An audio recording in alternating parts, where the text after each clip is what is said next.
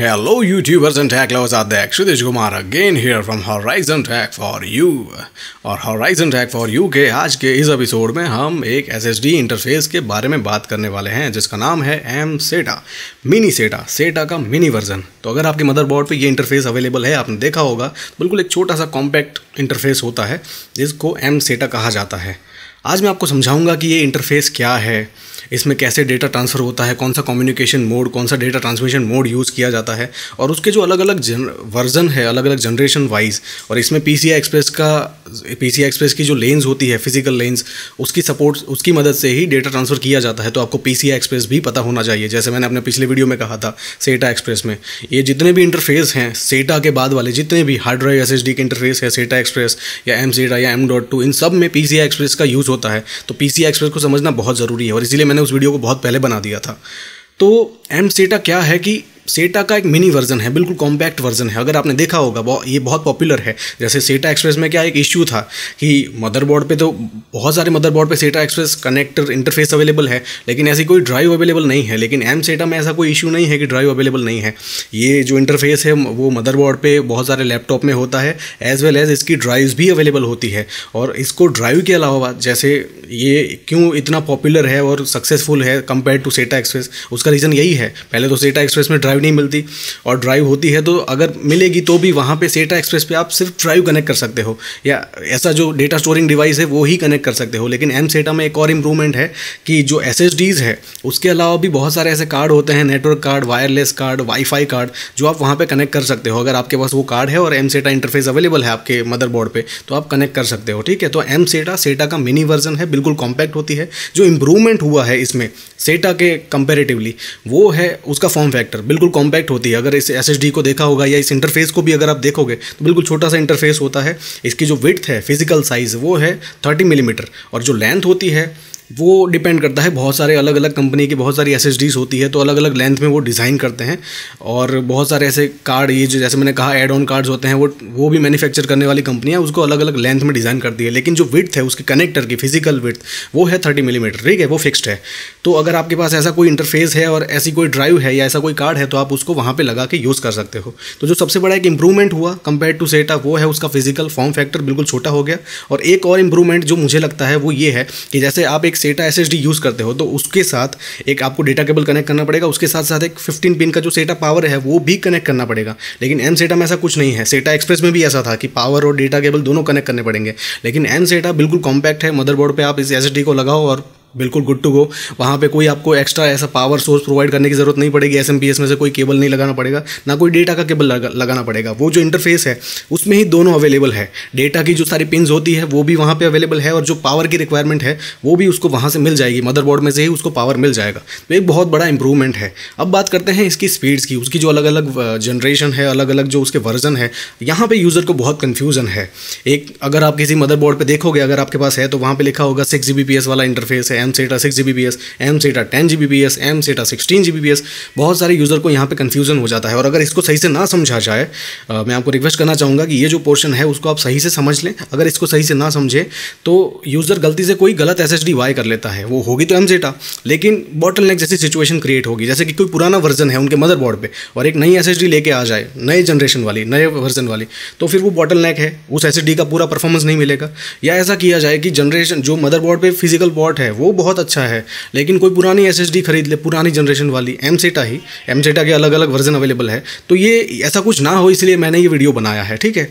तो जो एम सेटा का सबसे पहला वर्जन था, उसमें जो स्पीड मिलती थी, उसमें जो लेन यूज़ की जाती थी डेटा ट्रांसफ़र के लिए, वो सेटा लेन ही यूज़ की जाती थी। जो सेटा बस होती है, जो चिपसेट के नॉर्थ ब्रिज से कनेक्टेड होती है, उसी का यूज़ करके डेटा ट्रांसफ़र किया जाता था, ठीक है? सीरियल ट्रांसमिशन ही होता था।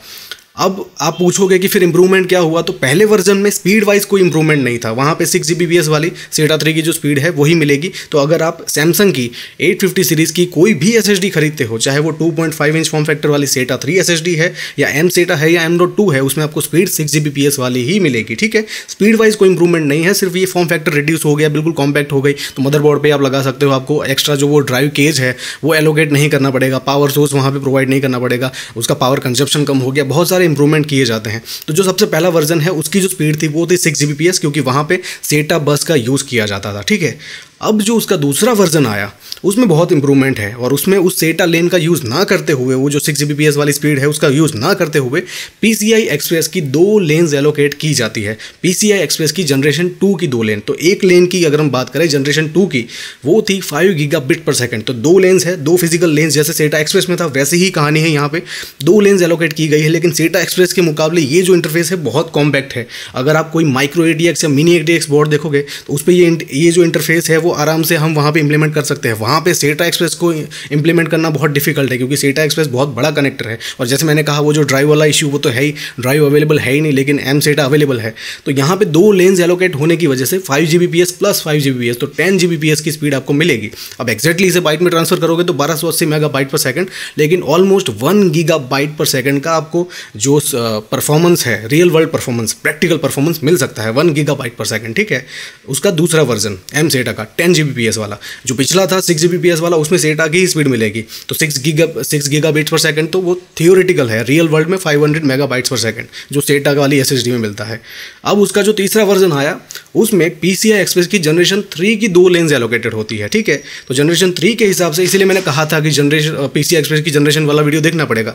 जनरेशन थ्री की जो एक सिंगल लेन थी, उसकी स्पीड थी एट गीगा पर सेकंड तो ऐसी दो लेंस होती है तो सिक्सटीन गीगा पर सेकंड अब सिक्सटीन गीगा पर सेकंड यानी कि almost two giga per second का आपको, वहाँ पे डेटा ट्रांसफ़र रेट मिल सकता है सिक्वेंशियल ठीक है? अब ये यहाँ पे मैं आपको ये स्टैंडर्ड समझा रहा हूँ। इसका मतलब ये बिल्कुल नहीं है कि कोई भी एस आप वहाँ पर कनेक्ट करोगे तो इतनी स्पीड मिलेगी।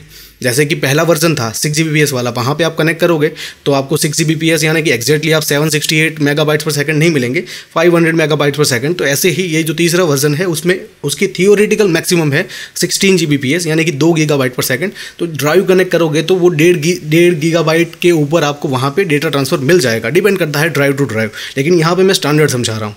अब इसके बाद जो अगला वर्जन है, वो ऑफिशियली अभी अनाउंस नहीं हुआ है, क्योंकि पी एक्सप्रेस की जनरेशन फोर वाला मदरबोर्ड या चिपसेट अवेलेबल नहीं है। हालाँकि जैसे मैंने पिछले वीडियो में कहा था कि पीसी एक्सप्रेस कम्युनिटी ने 2011 में ही जनरेशन फोर अनाउंस कर दी थी। अब उसकी जो एक सिंगल लेन की स्पीड है, वो है 16 जीबीपीएस एक सिंगल लेन की स्पीड दो गीगा बाइट पर सेकंड तो ऐसी दो लेन एलोकेटेड होगी तो आपको चार गीगा बाइट पर सेकंड का sequential data read and write मिल सकता है।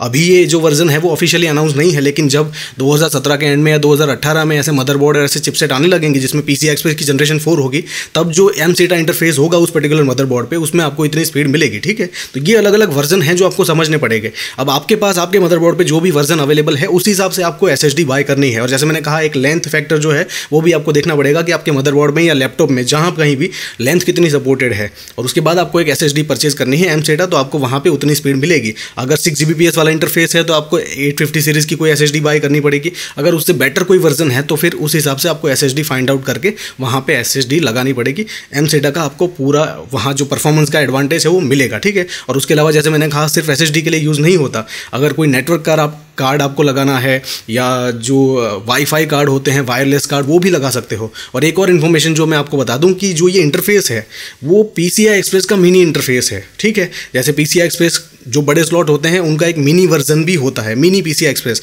तो वही इंटरफेस यूज़ किया जाता है एम सेटा में, ठीक है? तो एम सेटा का और मिनी पीसीआई एक्सप्रेस का जो कनेक्टर है फ़िज़िकल इंटरफेस दोनों सेम टू सेम लगते हैं, क्योंकि वही इंटरफेस यूज़ किया जाता है एम सेटा में भी मिनी पी एक्सप्रेस लेकिन आपको देखना पड़ेगा, अगर आपके मदरबोर्ड पर ये इंटरफेस अवेलेबल है तो पहले वो एम सेटा है या मिनी पी एक्सप्रेस है, क्योंकि मिनी पी एक्सप्रेस तो बहुत सालों से दिया जाता है, लेकिन एम सेटा जिसने पहली बार देखा होगा, उसके लिए इंटरफेस नया है। जिसने मिनी पी एक्सप्रेस देखा होगा, उसके लिए इंटरफेस कॉमनली वेल नोन है, उसने देखा होगा। तो ये आपको सारी चीज़ें, आपके मदरबोर्ड को आपको स्टडी करना पड़ेगा टेक्निकल स्पेसिफिकेशन में आपका चिपसेट क्या है, उसके बाद आपको समझ में आएगा कि आपके पर्टिकुलर वर्जन पे आपको वहाँ पे कितनी स्पीड मिलेगी, और उसके बाद आपको एक एस परचेस करनी है।